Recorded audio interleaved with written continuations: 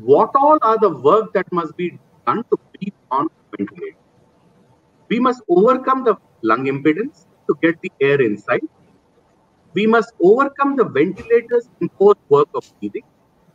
We must also overcome imposed resistance from the ETT. Now, some of these things can be done by the equipment, or you can actually put in the parameters that can feed. One thing that we have no idea about is the imposed work from the ETT. Now, we set support for some of our more spontaneously breathing patients.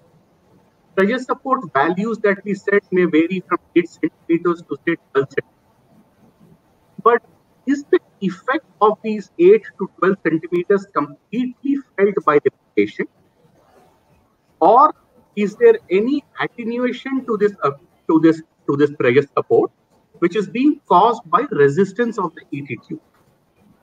Now, what happens here is we've understood that the single grade of the imposed work of breathing is the ET tube. During inspiration, the lung pressures are significantly lower than these. And we normally use pressure support to overcome these imposed work of breathing. The normal thumb rule is that about 4 centimeters is the imposed work of breathing that is caused by the ET tube.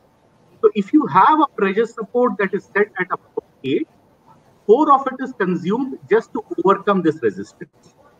So the automatic, uh, the, the ATC, it overcomes this imposed work of breathing by actually adjusting the, uh, the pressure support and it the pressure support that you set is the actual pressure support that the patient benefits from. So that is very simply the principle of the ATC. It is a patented technology from one particular manufacturer. They have understood a problem and they have tried to overcome this by adding another uh, function called the ATC.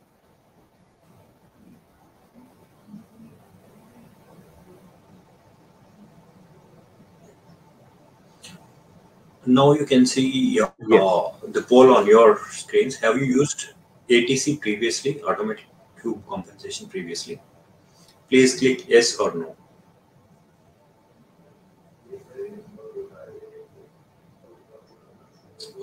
Hundred percent no. Okay, okay, okay. Uh, I mean, very simply put, ATC is you you just feed in the ET tube size and the percentage of compensation you want.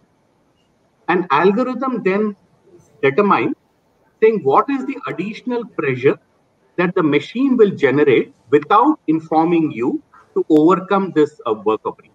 So that is what an ATC really does. So that's about the ATC. Now, some of the drawbacks. I mean, ATC is good because your energy cost of breathing is actually conserved because you're overcoming it by the equipment delivering an higher pressure.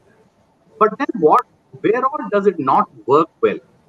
Now, if you have airway secretions, then your actual work, uh, the, the pressure inside the tube may change. Or if you have extubation, I mean, after, after extubation, your upper airway changes may actually affect your work of breathing and these are unanticipated by and because i mean as even in this, uh, in this we have seen that not many people have, if the operator is not ganesh your voice is very is it okay now? Is it okay now? Yeah it's better now. Okay. Sorry for that. Yeah it's uh, better. Can can you re-explain this slide I was, I was saying that following extubation upper airway changes may affect the work of breathing and this is not anticipated by atc because atc you you feed in the values once and those are the values that also as in this group itself we have seen that many of us have not used the operator may not understand this percentage of support that is that is required to overcome the work of breathing by the ATC. So maybe adding this as another mode may sometimes result in some physicians over assisting or some physicians under assisting. So these are some of the drawbacks of the ATC mode.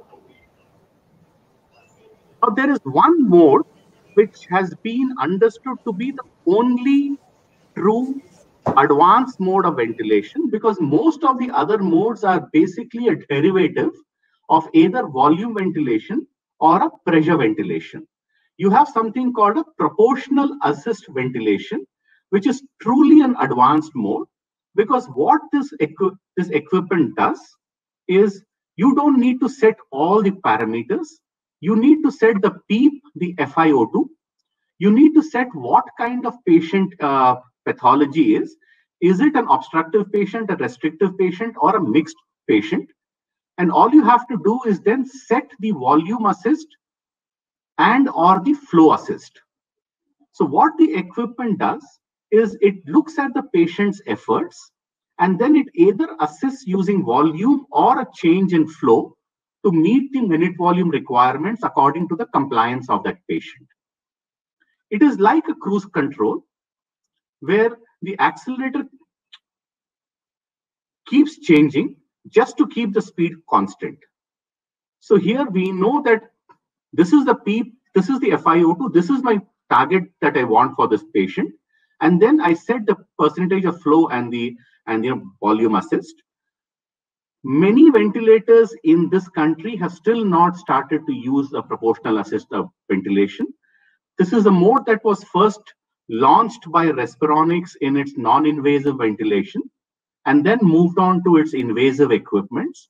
But uh, it is still not very popular in this in this country. One thing that we have to take care when using a PAV is always have a patient triggered backup ready because in case the machine is not able to understand based on the patient's compliance whether a flow assist or a volume assist has to be done there has to be a backup ventilation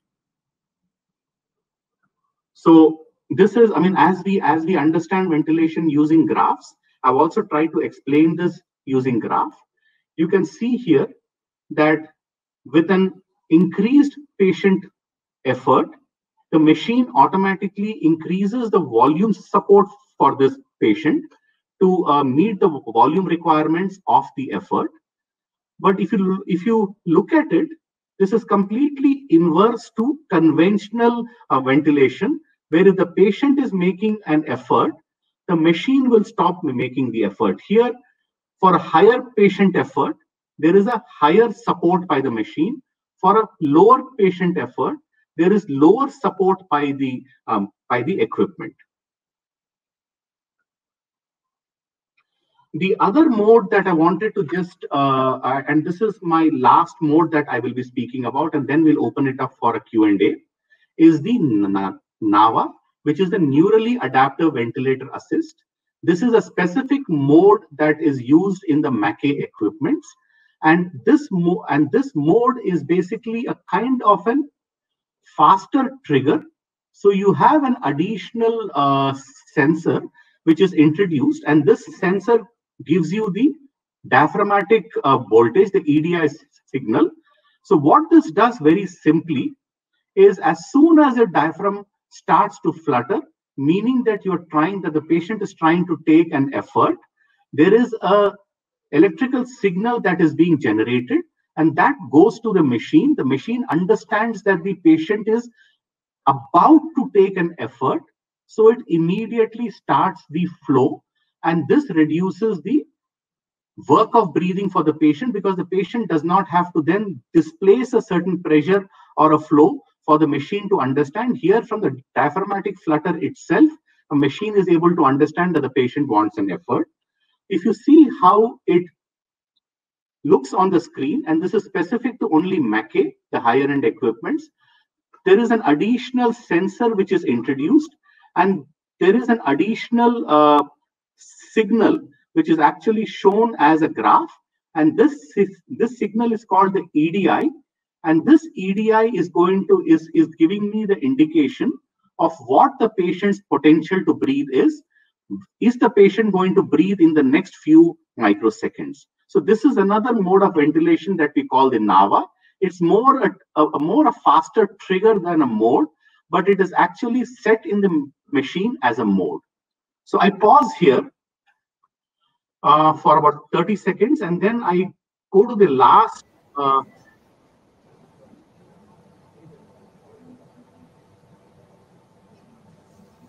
Sorry, you're lost, uh, Ganesh.